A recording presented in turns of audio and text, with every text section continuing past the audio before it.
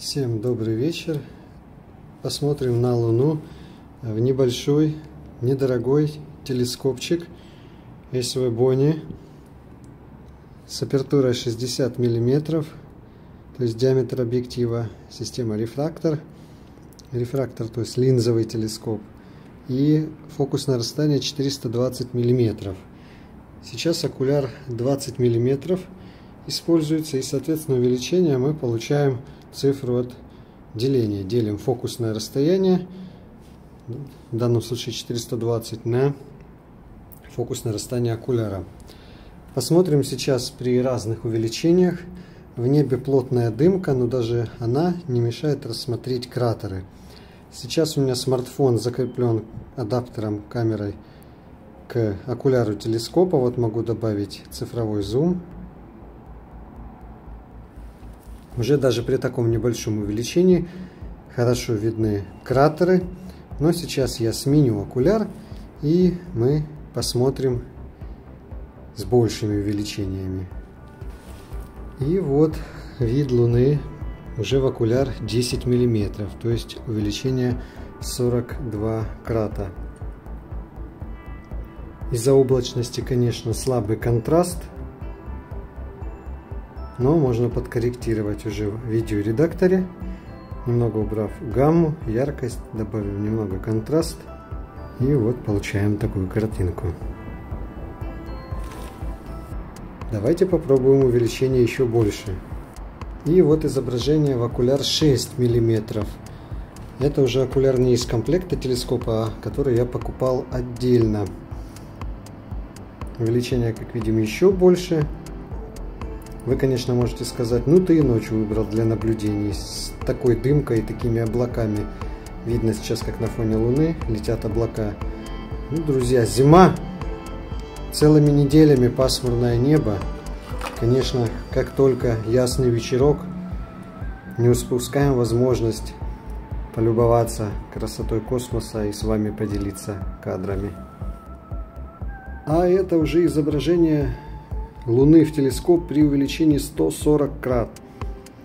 Окуляр 6 мм и линза Барлоу двукратная. То есть телескоп устанавливается сначала линза Барлоу, потом в нее окуляр и уже к окуляру я прикрепил смартфон. Луна в фазе перед полнолунием за несколько дней до полнолуния.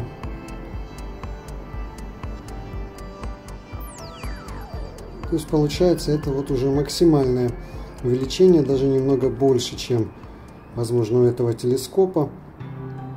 В ясную погоду, я повторюсь, при чистом небе, не в городе, будет видно намного лучше, намного красивее, четче, потому что в городе зимой сильная турбулентность, атмосферы, эти восходящие потоки теплого холодного воздуха.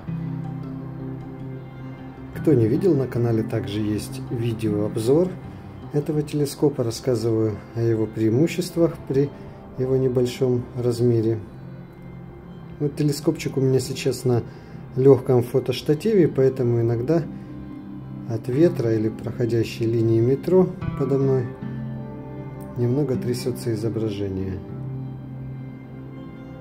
То, что Луна смещается сейчас в кадре, это не вращение Луны, это из-за вращения Земли ее смещение с востока к западу ночью. В телескоп это более заметно, чем глазом на небе.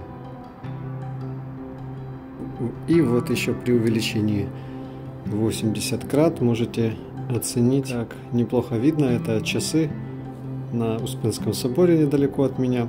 Сейчас покажу видео, как это выглядит в реале. Насколько это далеко сейчас от меня. То есть вот там эти часы. Вот можете оценить засветку и небо пасмурное. Условия, при которых я только что снимал видео.